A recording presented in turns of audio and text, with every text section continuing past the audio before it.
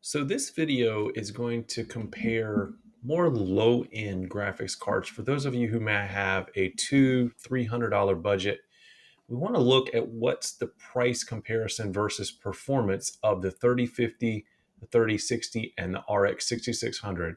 So if you look at this GPU generational performance at 1080p, this is a comparison of the RTX 3050, so maybe 50 here you'll get maybe 70 and the RX 6600 is just a little bit less than that. So before we examine prices, let's look at another measure of the performance. So this is a benchmark of the RTX 3050 that's coming into this website. You can see the number here. And if we compare that to the RX 6600, and that was, of course, the RTX 3050, you'll see that it's maybe 20% more.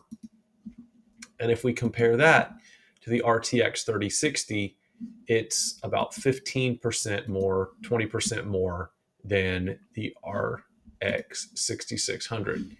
So to give you an idea on pricing, the RTX 3050 is around 230 for a used one newer, different prices. The RTX 3060, if you get past the ones that are parts only, is about 275. However, the RX 6600X is coming in approximately $200. Is it worth another $30 for less power? $75 for maybe 20% more? I don't believe so. I believe this is your best bet and your best deal in this price range here. I believe this is by far the best deal for you.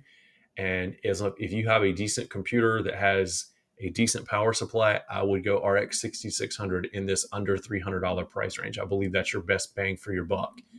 If you really want to go and get a new one, Amazon has one for $249.99 mm-hmm. right now on sale. So this may be a very good deal for those of you who want to get a really cheap but decent 1080p graphics card. $249.99 is not bad at all for a new one. This will be pinned in the chat. Thank you for watching. If you like these types of videos, please subscribe